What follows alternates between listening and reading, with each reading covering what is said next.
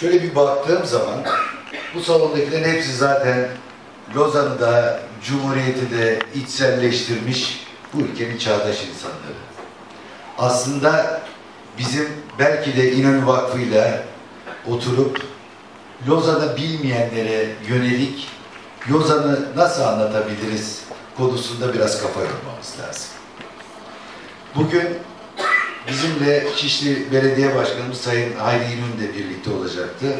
Ama belediye başkanlarının kaderi Şişli'de belki televizyonlarda izlemişsinizdir. Olağanüstü temizlikle e, ilgili bir sıkıntı çıktı ve acil e, genel merkeze Ankara'ya gitmek zorunda kaldı. E, Hayri Başkan'ın mesajını da biraz sonra arkadaşlarımız aktaracaklar. Bu arada Özden Toker'in hepinize çok çok selamları var. O selamları e, iletmemiz lazım.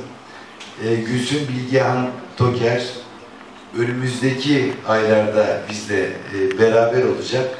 Sade anma günlerinde değil, biz Lozan'ın kurtuluş mücadelesini ve Cumhuriyeti'nin kuruluşunu ve değerlerine sürekli olarak özellikle yeni nesil- nesillere anlatmakla yükümlüyüz diye e, düşünüyoruz.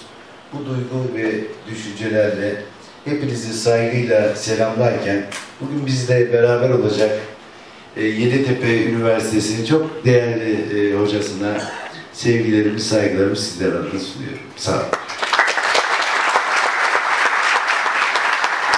kalmadığı meselesi değil sadece.